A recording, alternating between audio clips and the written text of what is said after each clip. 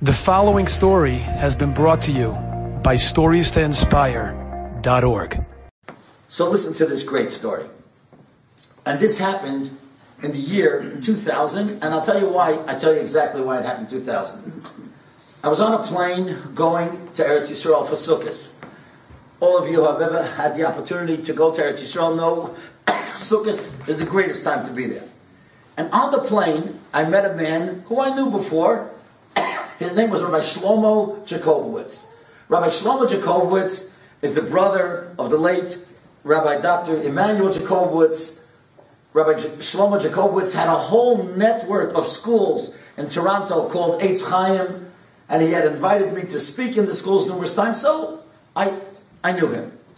We're standing on the plane and we're talking, and I love to ask this question to great people, especially if there's a great person who has a brother or a sister who's also great. Because accidents happen, like we said before. You can have parents that are not so ay ay ay and they have great kids. It happens.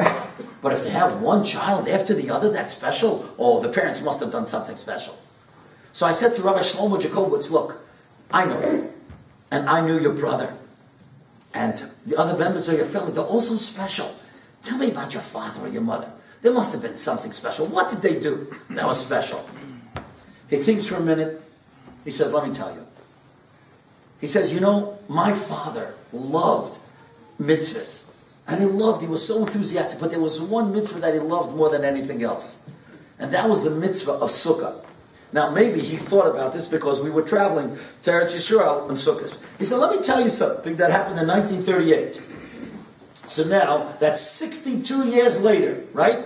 And that's why I told you it's year 2000. 62 years later, and Shlomo Jacobowitz is still talking about it.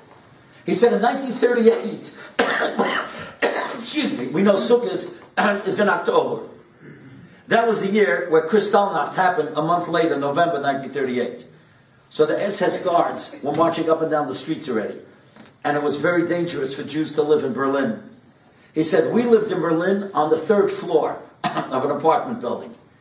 And we had like a little porch from the front looking out onto the street. Now, the porch had to have a wall, a retaining wall, because chas v'shalom, a kid goes out on that little porch on the third floor, he could fall. So now the question was, where we're going to build a sukkah. If you build a sukkah on that porch, the SS guards that are marching up and down the street, they'll take a look, they'll see it, blow up the sukkah, take the people, arrest them. What are you going to do? We couldn't have access to the backyard. Listen to this, you won't believe it. He says like this My father went out to measure the wall, the retaining wall. And he remembered the first Mishnah in Masech Sukkah. Now, the first Mishnah in Masech Sukkah says something that you have to wonder why in the world did the Talmid Chachamim teach us this? And they teach us the minimum height of a sukkah. All of us know sukkahs are, you know, quite tall, right? We all have to fit in there. The minimum height for a sukkah is 10 hand breadths. 10 tfachim, which is 40 inches high, which is this high. Why? In blazes. What Chazal teach us, it's like a joke. Who's ever going to make a sukkah that's 40 inches high, except kids when they're playing? But he remembered that. And he measured this wall. And the wall was 42 inches high. So he built a sukkah of 40 inches. And put on top schach, which was another inch. And now when you looked up from the street, you couldn't see it. Because the wall was 42 inches. And he had a sukkah. And listen what Rav Shlomo Jacobowitz tells me. He said we did not miss one meal a whole sukkah. We put pillows on the floor. Me, my brother, myself, we crawled in, we sat on the floor and had every single meal. We didn't sing zemiros. That we didn't do. Right? Nobody should hear us. But my father made kiddush, we had hamotzi, we had the meal. We didn't miss one meal, sukkahs. No, when you have a father who has such a love for a mitzvah, isn't aren't his children going to be special? Most people didn't build sukkahs in October of 1938, and who could blame them? Who could blame them? It was a sakana, it was a time of danger. But a father goes out of his way to do something like that. What do you think his kids are going to be like? Here's another one. You won't believe this. There's a fellow in Brooklyn, New York, a tremendous tzaddik, very, very exuberant person. His name is Rabbi Zevi Trenk. Now, what do I mean that he's so exuberant? I mean, he's just flying.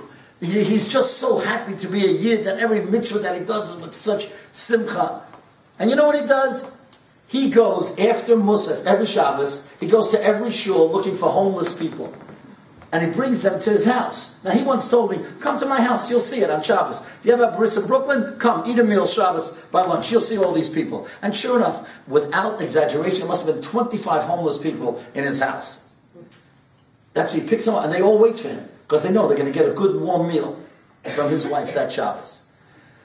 So I once heard a great story about him that he once went into a clothing store and um, he asked for a raincoat. So the guy said, "What size you need?" He said, "I need all sizes." He said, "What do you mean?" He says, "I have a lot of guests on Shabbos. Some are tall, some are fat, some are skinny, some are short. So I need all sizes because I never know who's going to come home with me on Shabbos from davening. And what if it starts raining? You know, they need a raincoat to get home." That sounded ridiculous to me. I couldn't believe this. So I called his wife. I said, Mrs. Trenk, tell me the truth. Did your husband really do that? She says, I don't know, but I'll tell you this. We're at a size 42. what do you think his kids are going to be like? Of course they're going to be tzaddikim. Of course they saw that the father doesn't come home until he makes sure that other people have what to eat and have a raincoat. So that's the example. That's the Avi Moiri. That's the Imi Moirosi. When we have a love, a genuine love for mitzvahs, Enjoyed this story? Come again. Bring a friend. Stories to inspire.org.